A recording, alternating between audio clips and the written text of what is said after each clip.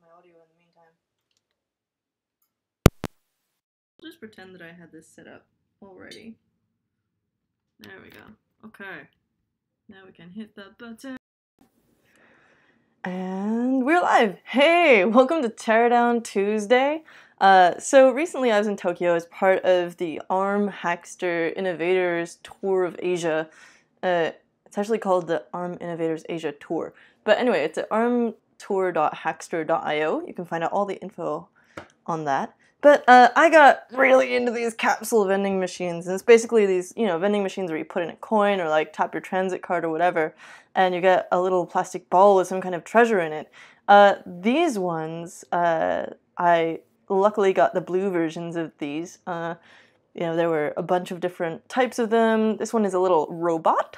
It doesn't actually do anything robotic, but I thought it'd be fun to put it together and see what um, actually what I could do with it to turn into an actual robot. And then this is a little cheapo watch that I knew was going to be kind of crap quality, and it is, but I want to take it apart because not only do we have some kind of fun little polarizing filter probably in here over the little screen, but who knows what else. So I'm going to save this one for next week, or maybe let's just take a really quick look.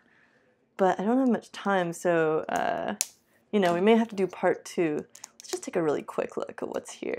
Ha ha ha. If I can get it open. Oh, it's perforated. Clever! Ugh. Just gotta be smarter than the plastic wrap. Oh, come on. It's really not very well perforated, is it? There we go. Ooh, shiny. Neat. We have a little guide. We've got some little stickers to put on there. Little caution warning things. Oh, that's so cool. Oh, and it's got assembly instructions. Okay, okay.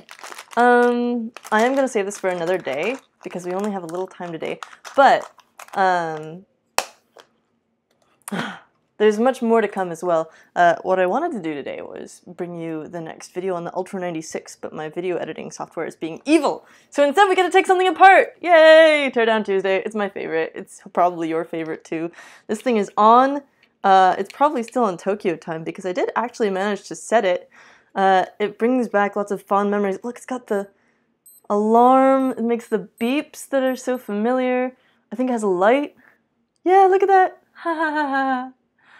Uh, you know, you can do all the different stuff. Uh, but I've never taken one apart before, and even though as a child I was very inquisitive and always wanted to, I actually needed watches and thought they were neat, so I didn't take them apart. Uh, but we're gonna do that now. So uh, I have taken apart my share of little solar calculators, and um, you know, you note that the little LCD number screen, ooh, different no, they're the same.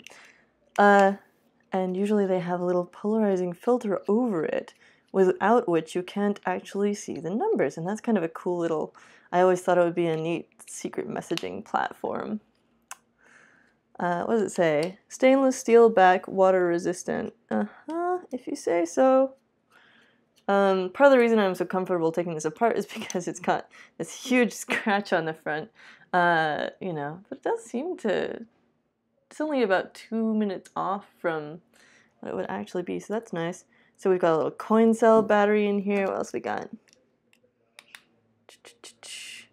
I'm not going to take the battery out before disassembling it because I think it's more fun that way.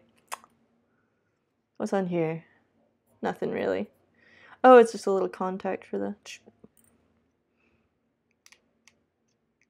This is a lightning round. Again, I spent most of my productive time today trying to get that video ready, but oh, you're holding on the little battery contact, I see.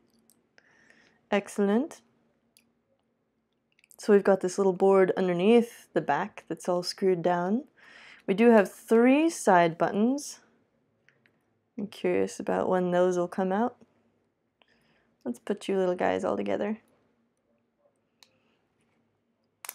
Ooh! I'm also blocking all the light going to this. Tear down lightning round. So exciting. My uh, screwdriver is a little magnetized. So, oh, that was just the battery holder, huh? So we've got a little 2021, I think. It's like 20 millimeters by 2.1 millimeters, something like that. Uh, it's smaller than your traditional 2032. Ooh, so now where's my little prior thing?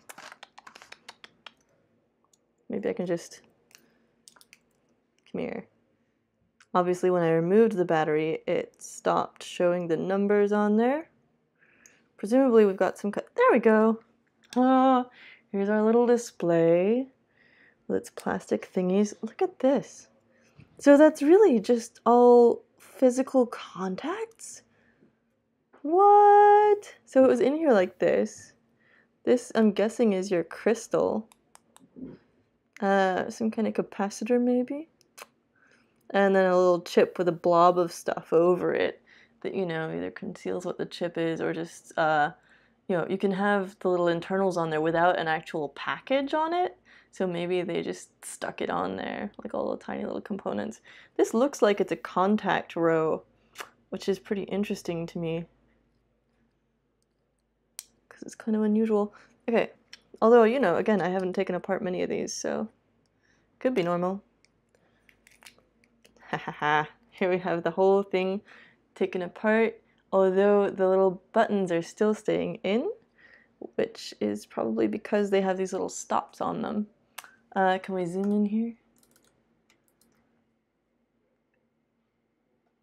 Neato.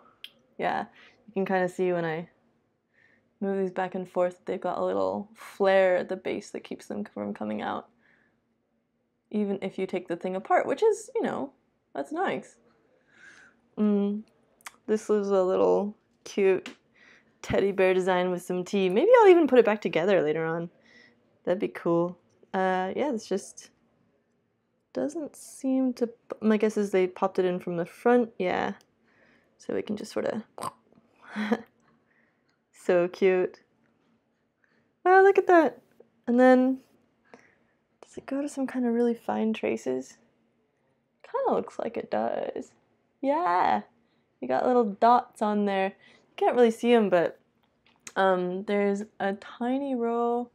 Oh yeah, you can kind of see if I tilt it like this, a little dot of the contacts. And those seem, do they correspond with these? Let's find out. They look like about the same size. I think, I bet that's what that is. It's probably just a little sort of bridge guy. I've never actually seen this uh, kind of a contact, which is pretty cool. Who knew? Probably a bunch of you knew. I did not. so it's probably some kind of little conductive carbon or graphite bits in the rubber or something, keeping it uh, conductive. That's very neat. Oh, it's so simple. So I can't tell what's underneath the epoxy here. Uh, it's just, you know, the guts of whatever makes it work. And then you've got a little resistor guy. It says 121, so that means it's a 120 ohm resistor. Uh, what else have we got? A little tiny diode. There's your little green LED there, the backlight. so cute. Um, and yeah, again, my guess is that this is the crystal that keeps the time. I could be wrong, but it kind of looks like it. And this guy, maybe some kind of a power capacitor guy. Um, shout out with any comments you have about what you think these extra little bits are. And uh, I gotta sign off now, but I hope you enjoyed this little bite-sized Teardown Tuesday. It's so simple and cute. Okay, let's start. Oh, ooh, I pulled it apart. Oh, bad me. Uh, I'm still gonna try and put it back together and see if it works. it probably doesn't, but who knows? I might have broken it. No, not yet. Yet being the operative word. Oh, maybe over there. Or maybe that's just a little knobble on the glass. Okay, I'm gonna stick this in. Might not even have the orientation correct anymore. Who knows? Adventure! Mm -mm -mm. So all these little guys want to go back in there. Like so. We've got this guy who was kind of like that. Was that right? I think it was like that. It seems to be symmetrical, except one side is slightly larger than the other. So I'm gonna pretend like it went this way. Oh, wait, can I scroll back and see? Maybe not. Uh, hmm. Well, I'll find out afterwards uh, which way up it was supposed to go. Oh, look, it's even got a tab for pulling it up. I didn't notice that. So maybe it was on top because I think I was looking at the bottom. Find out later. uh, yeah. Go in. Go in. Oh, it's probably catching on one of the buttons, huh? Go out. Mmm, buttons. I need a little thingy thing.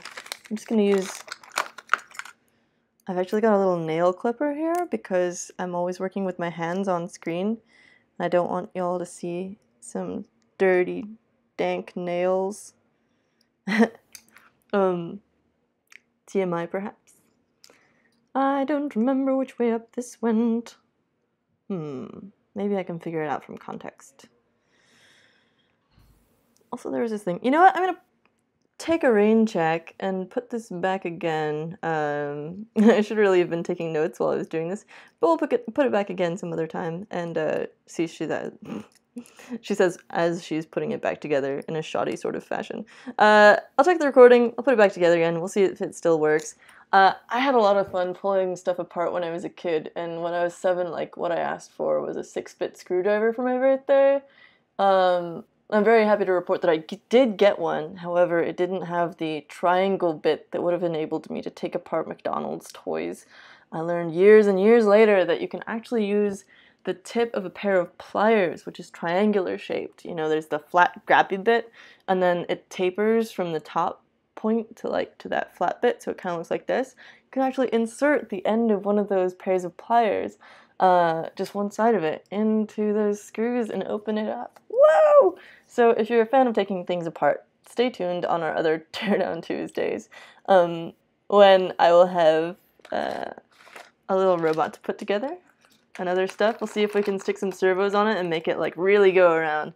Wouldn't that be sweet? The cool thing about this capsule guy is that um, it actually uses the capsule itself as part of the robot's body. And so I'm really excited to put that together for you. Uh, but that'll be a tear up Tuesday, not a tear down Tuesday and we will see you for that soon. Thanks for watching. Have an awesome rest of your Tuesday, and we'll catch you tomorrow. Ciao!